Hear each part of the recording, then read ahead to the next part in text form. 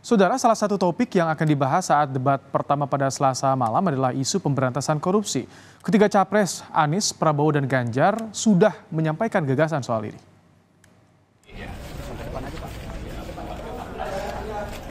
bahwa dulu masyarakat kita ini masyarakat bertekad memberantas korupsi. Maka ketika kita bicara sesuatu yang sangat besar, Selasa malam, debat perdana calon presiden akan digelar. Tiga calon presiden, Anies Baswedan, Prabowo Subianto, dan Ganjar Pranowo, akan adu gagasan tentang pemerintahan, hukum, hak asasi manusia, penguatan demokrasi, hingga pemberantasan korupsi. Capres nomor urut 1, Anies Baswedan menegaskan ingin memiskinkan para koruptor, sebab koruptor bukan takut masuk penjara, melainkan takut miskin. Memberikan hukuman yang menjerahkan dan hukuman yang menjerahkan itu bukan lokasi tapi konsekuensi. Konsekuensi apa? Jadi miskin. Dirampas seluruh aset. Yang diinginkan koruptor itu apa? Hedonis. Yang diinginkan. Hidup. Berlebih. Konsumtif. Nah begitu dimiskinkan hilang semua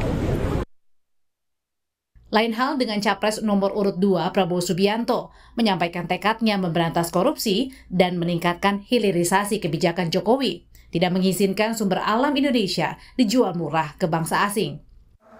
Koalisi Indonesia Maju, kita bertekad memberantas korupsi dari bumi Indonesia. Dan kebijakan Pak Jokowi hilirisasi. Kita tidak mau lagi mengizinkan bahan-bahan kita, sumber alam kita, kita tidak mau izinkan lagi dijual murah ke bangsa asing, saudara sekalian. Sesuatu yang sangat besar, Sementara capres nomor urut 3 Ganjar Pranowo menyebut akan menjadikan lapas Nusa Kambangan menjadi penjara khusus bagi narapidana kasus korupsi. Ganjar juga ingin memperkuat KPK dan membuat KPK semakin independen.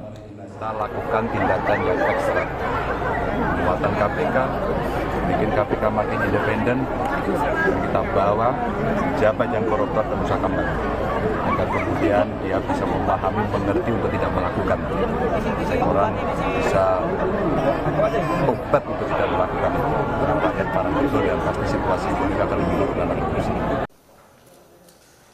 Debat perdana 12 Desember 2023 akan diadakan di kantor Komisi Pemilihan Umum KPU RI di Jalan Imam Bonjol, Jakarta Pusat.